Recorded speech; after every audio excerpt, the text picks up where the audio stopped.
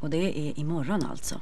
Nu bör korsordet vara framme för den som vill vara med och kryscha fram i nöjesvärlden med Arne och Björn. Och jag vill påminna om att det går att se kryschlösningar på sidan 663 i text-tv.